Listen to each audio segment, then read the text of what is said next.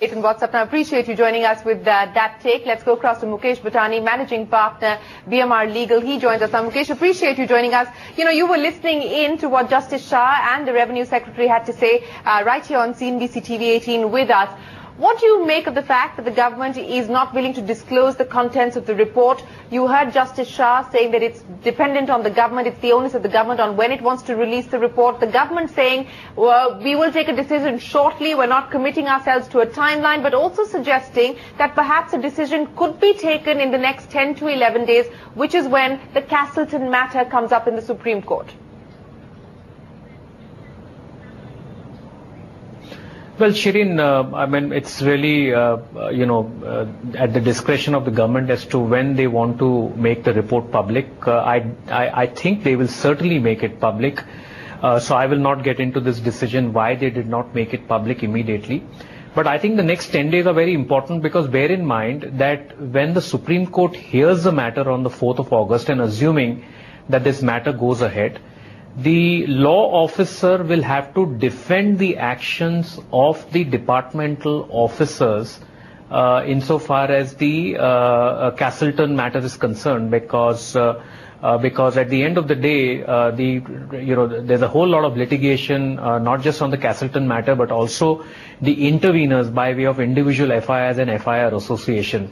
So if the government has to prepare its stance as to what they're going to talk in the Supreme Court, uh, it will have to make sure that in the next 10 days it has absorbed the contents and also given a reaction uh, to the report because uh, the government will have to come out with a stand. Either the government can say uh, and assuming that the report is positive for the FIIs, either the government can say that we accept the report and we issued requisite clarification to clarify the position of law in line mm. with the Shah committee recommendations, assuming it is positive, or it can say let the law take its own course. Mm. This matter is before the Supreme Court and let the Supreme Court take a final call. Either which ways, yeah the law officers who are defending the government's position in the Supreme Court will then act accordingly.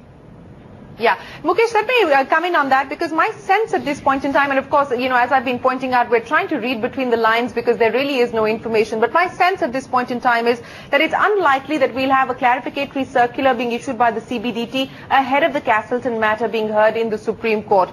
Uh, is that your feeling as well?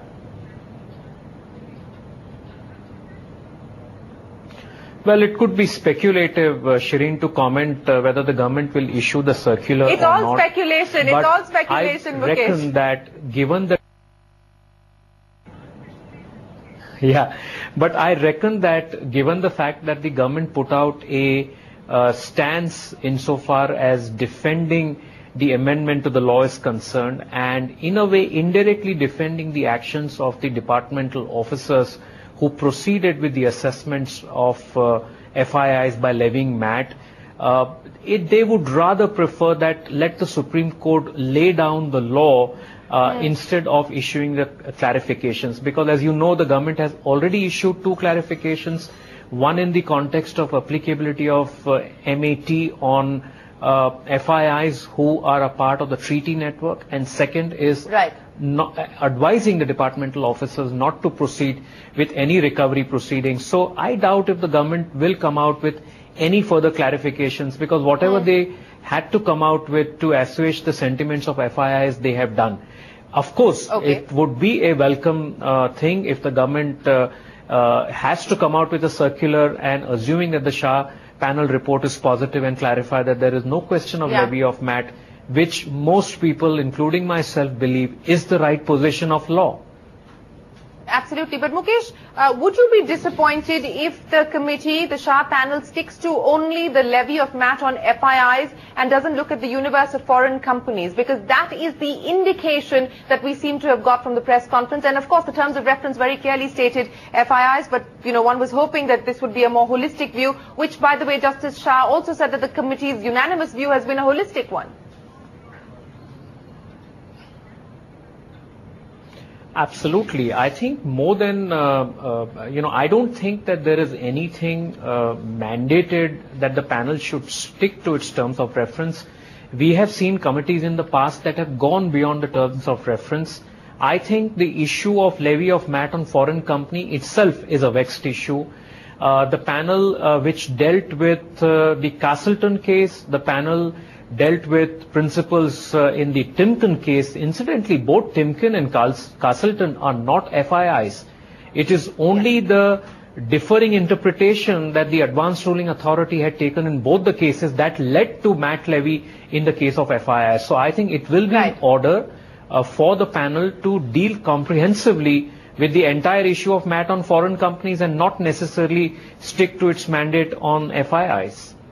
Well, that's the hope. But Mukesh, uh, uh, please hold on because there's another matter that I would like your comment on, and I'm just going to take our viewers through the details of that because the Special Investigative Team, the SIT, has made a set of recommendations in a bid to try and stem the inflow of black money. Uh, the SIT report has raised a red flag on inflows from the Cayman Islands specifically. The team has suggested that the market regulator be brought into the picture to curb the usage of participatory notes to route black money. The report says that SEBI must obtain information on beneficial ownership of P notes and this information should be in the form of individual KYC and not the name of a company. In case a company is the holder of a P note, then SEBI must have information about its promoters and directors. Mukesh, I'm not sure if you've gone through the details of the SIT report, but if I could just get your comments specifically on the issue of P notes because this is part of the, the recommendations that, uh, that the committee has made, the SIT has made on P notes, and especially as far as the transferability of P notes are concerned. I'm quoting to you from the report. It says P notes are transferable in nature. This makes tracing the true beneficial owner of P notes even more difficult since layering of transactions can be made so complex.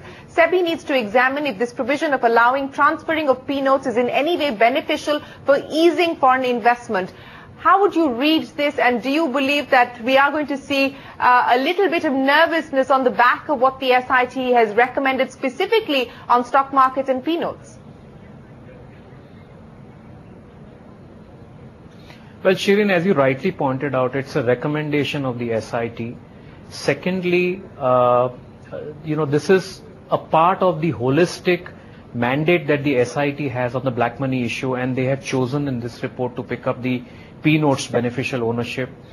I have no doubt in my mind that world over, most regulators are now looking at strengthening the KYC norms for foreign institutional investors, and this will serve as a guidance to SEBI and the Ministry of Finance to relook at it. I think one has to tread very carefully on some of these recommendations because they may cause nervousness uh, in the markets. Uh, so if SEBI in its wisdom and the government decides to strengthen the KYC norms insofar as you know identifying who the beneficial ownership of such P notes are, then that would be on a futuristic basis. So I think uh, it's it's a recommendation uh, that's come in uh, based on what regulators all over the world are following.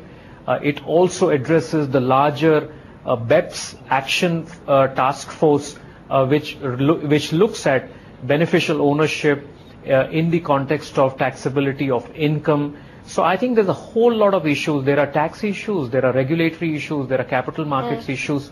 But whatever the government does, it has to tread very, very carefully and it needs to be mindful of the fact that there are currently certain KYC norms which are there in force and there is an appropriate transition period that is given. Otherwise, it will result in nervousness in the market.